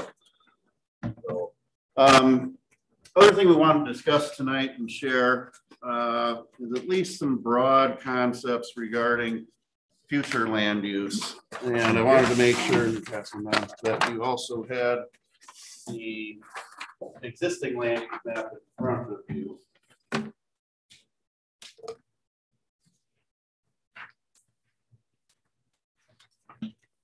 For comparison. Then again, based partly on the input and the comments that were made, looking at your current plan, um, taking a bit of a drive around the community to re-familiarize myself. I don't know fairly well, but there's parts I remember. Um, start sketching some things up. that's exactly this is, sketch. Nothing set in stone here, but we wanted to try and get some initial feedback. Uh, so basically on top of the map that you already have, uh, we started looking at specific areas of the community that we might want to start changing some things on the map and obviously trying to have it match the categories, the naming conventions that we have in the document for classifications uh, will be key, but don't worry too much about that. Um, I think first and foremost, you know, it was interesting looking at the map that you have here because not all of it, but in certain places, it almost resembles a zoning map where you're you're not dealing with broad general land uses that you've got little specific things called out. Usually not an issue with institutional uses, parks, things like that. But you know, we've got a little multifamily there, some higher density, um, and and you separate that out. I'm not sure it's terribly important, and if anything, it can lock you in uh, to, to uh, omitting change from happening on some of those properties if you specifically call it out like that. So broadly, we may want to take a look at that and, and generalize and get rid of some of those little things so it doesn't look like a zoning map. Your zoning map will serve that purpose. Um, but kind of taking a walk around the community here, um, south uh, east quadrant here, sort of uh, the entrance, one of the gateways here. Um, there's just generally a bit of a hodgepodge of land uses in that area that we noticed, and, and a fair amount is industrial. I think kind of cleaning this up in terms of the categorization, you know, areas that are industrial, existing industrial, and things that'll infill. Uh, let's just just make it all one category. Um, an area that allows for commercial, perhaps mixed use development along the main part of that corridor. Over time, there may be some redevelopment of that. Um, I think that's one area that we could kind of clean up a little bit and simplify for the most part. And again, if anything, it's going to give you more flexibility in terms of what you're dealing with for any land use change in that area. The southern part, south of Becker Road, uh, this whole strip here certainly, um, I think has some opportunities if and when it's available or on the market or, or things could happen. Um, but I think instead of just generalizing that it would be residential land use, I think this is where we can start integrating the concept of basically creating neighborhoods. Um, if you deal with things at a certain scale of, of you know, 40 to 100, 200 acres in some instances, um, you really want to take a look at that uh, uh, in terms of creating a neighborhood making it more walkable, incorporating a mix of different types of uses, some lower density single family duplex uses, perhaps some uh, higher density uses, maybe a little bit of commercial or mixed use fronting Becker Road, conceptually a park or some green space in there. Um, we don't have to lay it out exactly like this, but what we wanted to illustrate was in that area, as well as several others, that that, that could be a growth area and you shouldn't make it a monotonous single use type of situation. You've got opportunities to create community, uh, to create interactions between land use and mixes of land use, and maybe even open the door up for more affordable housing in some of those situations instead of kind of cookie cutter, single family residential, and then dealing with not in my backyard issues because that, that higher density stuff doesn't match what I have.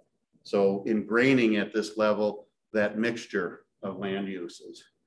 Uh, same thing on the west side here. Uh, you've got some areas uh, that, that uh, to some degree, uh, you know, th those roads kind of terminate and dead end is sort of the end of the community.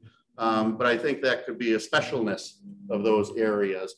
Uh, and again, allow for some different types of uses that might be traditional. Um, a couple of those areas I thought might be good for those cottage style developments um, because they're a bit secluded, maybe a little more private and, and could add some uh, interest to that. The downtown area, we talked about that at length and, and we can play with the lines a little bit, potentially kind of fuzzy here, but really trying to condense and simplify uh, the land use categorization for the general downtown and some areas beyond that uh, to allow for basically uh, mixed use commercial development. The expectation that we would definitely consider proposals that incorporate residential uses within that general area. Um, and again, we're, we're keeping this at the 30,000 foot level. Um, The, to the north, I always keep forgetting street names. It's Sha- it's Shawano Street, right? Yeah. Never sits right in my brain that I'm in London, you call it Shawano Street. So, uh, but as, as you go up Shawano, um, that's definitely been the bulk of your, your retail, regional kinds of uses, highway, commercial a little bit in that sense, easily accessible from forty-five and fifty-four. Uh, there's quite a bit of land out there and, and, you know, looking at a map versus driving and kind of looking at the expanse, having it just all generalized as, as commercial, um, that's pretty pie in the sky. You know, how much commercial can that area handle and absorb? And will it continue to grow? We think some of those changes and the trends happening, uh, you're not going to see a lot more of that, certainly not to fill that entire space. So we think, again, looking at those areas perhaps as a mix, integrating residential, some of the medium, higher density residential, allowing some additional commercial, perhaps changing the nature of what that looks like in terms of mixed use. Maybe there's some opportunities for retail and first floor apartments above or a couple of stories or offices uh, would be appropriate. Um, you know, again, looking at the amount of land that's going to be demanded for land use change compared to what's on the ground, even what we have shown there is probably well beyond 20 years worth of, of land and development. But uh, thinking ahead, uh, this is where I think you could start transitioning some of the, the very separated land use into making uh, mixed use communities. Um, really not unlike what you, you have down here. The ex- exception is that all the residential stuff is behind the commercial. So trying to integrate that a bit more. Um, I did want to clarify, make sure we're right here too, because I, I didn't know this, but this whole vacant area here is noted as the London Nature Area. That is a public property, is that school district? Nope, it's city. That's city. It was stewardship funded. Okay. um, But it's, Okay. it's city property. It's designated for future parkland. Okay, okay. It's a farm field now, but it's. Right, I think the old map shows it as residential, so that must have been a a change since that map was done. Yeah, that should be, uh, well, that's preferred, but. uh, Yep, yep, well, existing- yeah, we're looking, both are preferred. Yep. So the, the current preferred land use showed it as residential, but in reality, a Oh. big chunk of that ought to be recreation. Correct. Okay. Yep. So that might be more of a correction. Is, is- was that, I, I'm really curious as to the, the, the driver there for that, because you look out there and you say, okay, there's a fairly significant piece of fairly flat developable property. Was that put there to try to integrate some green space in that neighborhood? Or, or separation between what could be to the west? Uh, I'm, I'm, I'm just curious as to the history of of how that green space came to be and what its purpose was. I'm not aware of the reasoning, but I do know that it was purchased by the city through stewardship funding.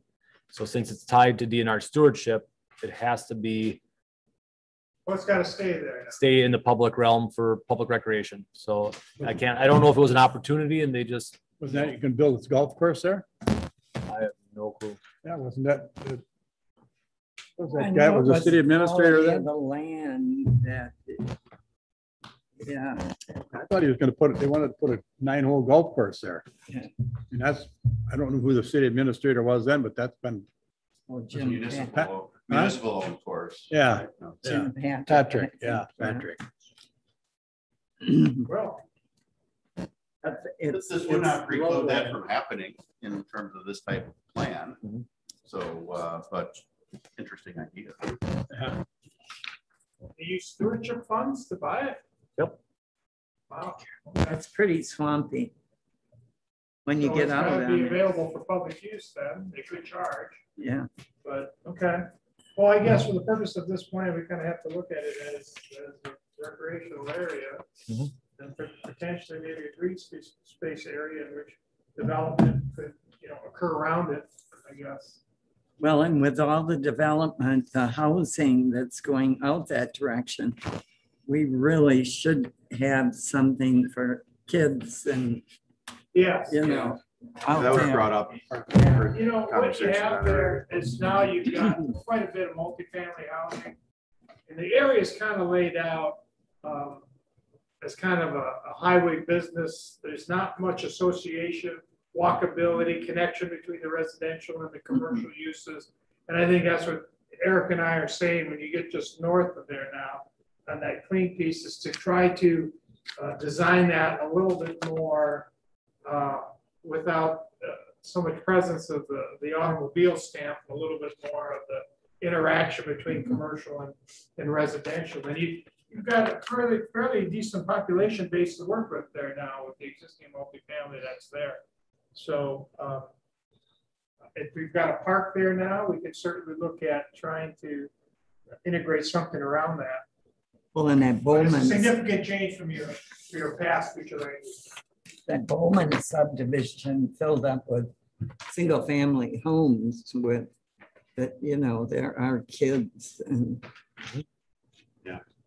Well, the size of that property too, it could serve as a sub-regional, you know, park. So if there is additional development uh, uh, across uh, Shaw Street um, to the north uh, in in those new neighborhoods, um, that would certainly serve a purpose. You need to be concerned about safety and traffic and crossing uh, the road there, obviously. Uh, But adding some trails and connectivity, um, as we've broadly indicated here, uh, might be uh, of, of interest. In a couple of places where just put dash lines saying, you know, we, we need to find ways to connect that more from a pedestrian standpoint. And then there is some of the old railroad right away going to the north, which I think, you know, could be a nice addition um, as a potential trail um, and getting that connected to the rest of the system here. Again, that might be pie in the sky. That may never happen, but if you don't have a vision and don't put it on a map, it's certainly not going to happen. But again, this is very broad level, just kind of some of the initial thoughts and, and interested in your feedback. Is this kind of going the direction that you felt things should go based on our conversation, based on what we we're looking at in terms of edits in the document and talking about all those different things? I was gonna add some of my input as far as the general manager of the utilities. Do we have enough um, scope down the road for future industrial? I mean, uh, the area that I see designated is kind of already designated, but shouldn't we allow for growth? You know, we have a lot of growth for residential Yeah. customers. And where I see our electric availability would be on Becker Road. I mean, we already have an established loop there. We service some very large customers. Yeah. So we would have availability, you know, on Becker Road. Obviously, we don't know what's coming, but do we have enough allocated for that industry? Because that's where we want to grow as a city. I mean, we want to bring more industry. That's going Right. to bring more people to the community and more jobs. You've certainly got the newer industrial park up in the north uh, east there, and, and there seems to be, you know, plenty of land there. You've got a handful of Right. businesses. Actually, I was quite surprised. I never knew that existed there, and- and, but seems a little disconnected and out of place, but Right. it's neither here nor there. Um, and you do have a fair amount of lands around that primary area indicated for expansion of that. Um, I think that and with some infill, uh, on the west side of forty-five, north of County S, um, you're probably gonna have enough land to accommodate those needs, but a lot of times it's location, location, location, whether it's based on utilities or based on, uh, the type of business. So I don't think there'd be any problem or concern as we take a look at that land to the south of Becker Road of possibly adding some additional industrial land to that. Maybe it's uh, simply uh, the, the frontage, some of the frontage along County D. Um, Maybe it's taking up more of that orange area. You Mhm. know, you've got that, there's a tower there, I think, too. Um, But, but perhaps that can serve as a little more of a buffer before you have uh, residential and other types of development. So um, no, I appreciate that observation and, and if you like, we can, we can look at that area more. We can play around with that of adding some I mean, obviously, industrial. that North Industrial Park is where we would like to put, you know, I mean, that's closest to our substation. Right. So that's gonna be easiest for us to develop that for a larger customer. Yeah. Um, I'm always looking at the scope of, you know, what do we want for industry? Obviously, you want to swing for the fences. I mean, another um, Hillshire or Amcor would be a great addition to our community if we could get more. Yeah, and there's something to be said too uh, with what you're suggesting. Uh, you know, the, the current industrial park is fairly isolated. It's not you know, I live over here in the community and I can walk to work. Right. Um, so an opportunity to add industrial uses, uh, and, and I'm thinking clean industry, not smoke belching, you know, dirty kind of stuff. Uh, could allow again for more of that mixed use concept to exist where people can actually live near where they work and they can walk and they don't have to hop in the automobile. So, uh, uh, definitely something that we can take a look at there and refine more. We can do a quick calculation of the areas that we have designated that's vacant there. Um, uh, you know, I'm not looking at the, the map here, photo here, you know, the one we have planned. I, I think you're gonna be fine. I think you're gonna be fine. And if you look at it, you know, you've got everything from the industrial side, pretty much linked fairly good with forty-five and some access points too, so you've, you've done some planning, you know, whether or not that was driven more by the industries of the city, who knows, who cares at this point, but that's, that's definitely where you put anchor down for your industrial areas, and they seem to have some justification for access and good transportation routes, so we'll just take a look at that, and the numbers here, and see if Mhm. the vacant, amount of vacant land that we have in those areas is, uh, is, uh, running in track with our projections. That uh, industrial section that you got indicated between Highway S and fifty-four, the middle one. Yeah. Uh, Remember that southern half of that, we're gonna have that developed as multifamily, single family in that corner. Oh. But I think the, the northern half of that is, is appropriate because it's a railroad spur.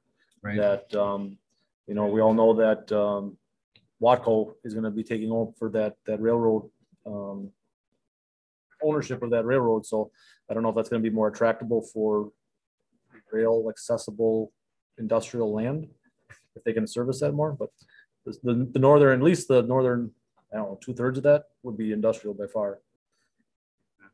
Um, so you're talking about the area south of S That one right here. is gonna be multifamily? Yeah. Okay. Just what, about, a- Because on the current, on the current map, Triangle, kind yeah, Yep. on the current map, it showed as conservation, but you know, someone had sketched a circle on it. I never found a clean map, so I- somebody was playing with ideas for changes already. Mhm. But no, we can show that as, as more of the high density Mhm. land use then. it was gonna be a high density and then, uh, um, single family above that, so. Um, Yeah, and again, you know, uh, can appreciate, you know, the the last map of trying to work around a lot of existing single-family residences that are a bit scattered on the frontage there, but, um, and, and no one's forcing anybody out uh, of their home, but, but allowing for some transition to industrial should that go that way. So we thought we might clean up the map in that area and just call it all industrial. Maybe we add a little bit of additional uh, land in the secondary growth area that's now shown as residential as secondary industrial in terms of long-term expansion as well.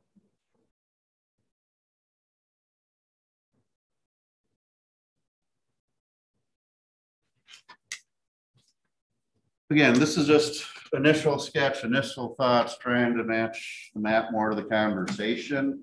Um, doesn't sound like we're really far off the mark.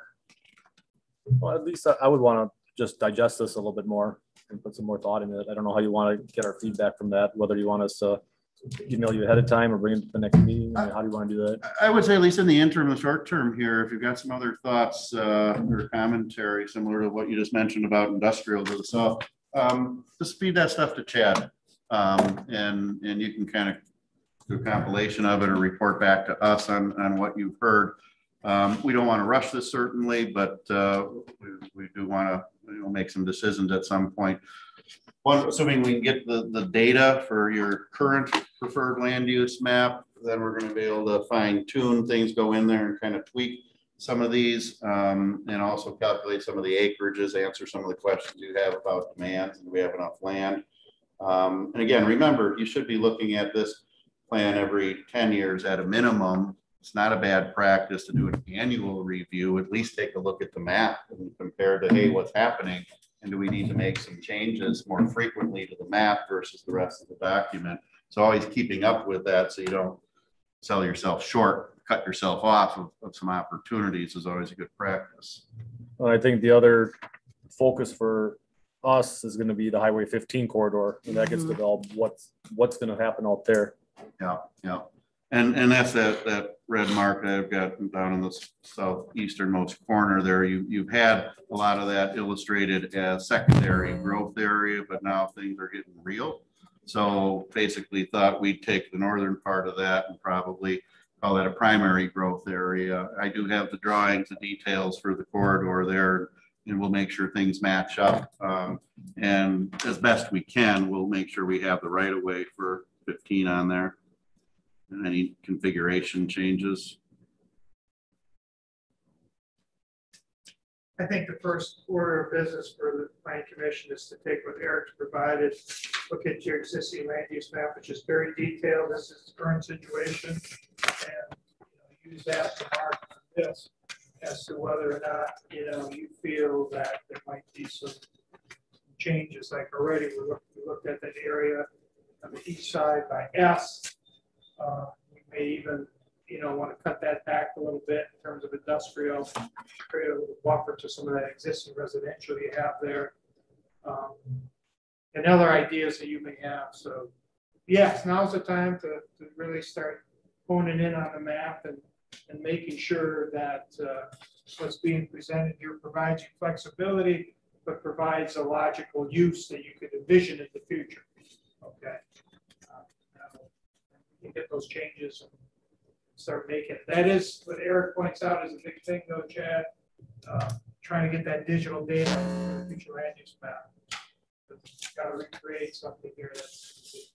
take more time. So I finally narrowed down the rep to talk to, so maybe he just sent the existing, I just got asked for the preferred or future from when they did it, so hopefully. I was gonna suggest even that might not make sense to say we'll be back at next month's meeting. Let's wait to see what we get and when we get it, because it does take time to make these changes. If we have to redo the whole thing, it's gonna take longer. If we had that data tomorrow, I'd say, yeah, we could make all these other changes we're talking about in time, but um, why don't we just hold off on deciding whether we bring this back to the plan commission next month or the month after? We don't. Remember, I mean, the, the charge here was just to take a look at this element, because this is gonna bring you the most value, value for the planning commission to make land use decisions. You still have the entire comprehensive plan that needs to be updated. My discussions with Chad were to wait- wait till the census information became available, something that would probably go into next year's budget to wrap around the rest, the, the entire comprehensive plan document. That being said, that does provide a bit of another window to, to tweak here if we find something in the other elements, economic development, housing, those other ones that would re- re- require a change or amendment to this, we can get, we can capture it in, in next year's comp plan as well, so. We've got some safeguards built into the process here that will allow systematic progression of your plan that brings it more and more on point as we evaluate all the other uh, components of your comprehensive plan, which would include recreation as well, you know, your trails and park locations and those. I think in the interim, you know, this should serve you pretty well or better than, than the current map um, for the short term until the rest of the plan gets updated. I think also with the changes that we show here and talking about, it, it does represent a fairly drastic change in terms of how community would view, view new development. It's not, it's not just your standard commercial, residential, industrial, and we separate all that stuff. Now it's really starting to take heed that that we need to start making these areas more integrated. We need to make them communities that, that kind of almost stand on their own a little bit uh, to, to be more walkable, reduce automobile usage, increase recreation opportunities, all of those kinds of things. So assuming that's the direction you want to go, I think we we're getting there. And Other communities are doing that too. So you're not the only ones. We just want to make sure that you say the ideas. You want to go that direction. Other than that, that's pretty much what we had this evening. So, uh, Any other comments or thoughts, but you'll see more of us and we'll try and uh, get this part finished up, fill in the gaps in the document, and I'm hoping the next time we meet, we've got something that's a little more solid in terms of a draft with the the necessary details in it. Uh, If we do this right, it's possibly might be comfortable enough at the next meeting to to at least endorse it as, yes, we're comfortable with that draft, and then you can go through the formal process of, of doing the plan amendment to incorporate this material. Thank you. Thank you. Thanks. Thank you. Enjoy The rest of the evening. Oh, Thank you very much. Ed, you got an update on planning issues and other agenda items? Not really. Dave, do you got anything coming forward? I mean, there's. I have the murals and stuff that's coming up. Yeah, we'll, we'll bring that mural, um, situation. Uh, Dave and I will talk to legal about, um, you know, how we wanna, you know, define the murals a little bit more, just because it's obviously way different than probably when that ordinance was built, was written, you know, so. You were saying the next meeting was gonna be the twenty-third, did you say? The next regularly scheduled meeting would be 22nd. Thursday, July twenty-second. Everyone all right with that? How did I say that? I thought we had something else kind of earmarked for that. Me one second. Possible. July already. Goes fast. Twenty-second? Oh, um, TIDs, we are gonna be bringing, we're, we're making those two TID districts for, um, the Romanesco and the downtown development. There's gonna be some TID, um, procedural things we gotta do at that meeting. That's what's gonna go on. So that'll be on the next meeting. That'll be the twenty-second? Twenty-second, yep. Okay, look for a motion to adjourn. Also move. I'll second. Made second, all in favor? Aye. Opposed, We're adjourned.